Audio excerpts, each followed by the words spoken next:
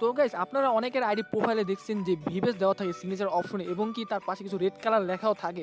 তো আপনি এটা কীভাবে দিবেন? তো আজকে আমি এটা আপনাদেরকে দেখাবো এবং জাস্ট আপনাদের বেশি কিছু করা লাগবে না জাস্ট আমার ভিডিওর যে ডিসক্রিপশনে একটা লেখা আছে আমি এই কোডটা আপনি কপি করে নেন। এই যে বিসি তারপরে V zero zero F F B zero zero এটা আপনি কপি কপি করে নেন বা একটু কষ্ট করে লিখে নেন।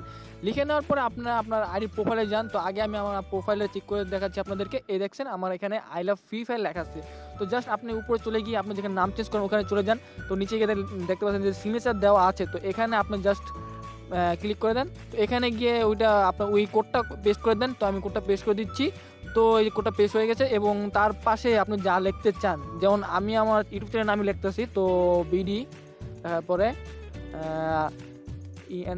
এন্টার ট্রেনার এসপিজে তো গ্যাস আমার লেখা অলরেডি শেষ।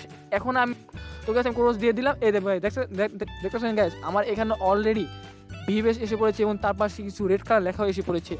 গ্যাস তো আমি অনেকেই এই ভিডিও অনেক এরা জানেন তো, অনেকে জানেন না। তো যারা জানেন না গ্যাস তাদের জন্য এই ভিডিওটা অনেকটাই প্রয়োজন এবং গ্যাস যদি ভিডিওটা ভালো লাগে, তো অবশ্যই আমার চ্যানেল আমাদের চ্যানেলটাকে সাবস্ক্রাইব করে রাখবেন এবং তার পাশে বেল আইকন ক্লিক করে রাখবেন। এবং গ্যাস আমরা আপনাদের জন্য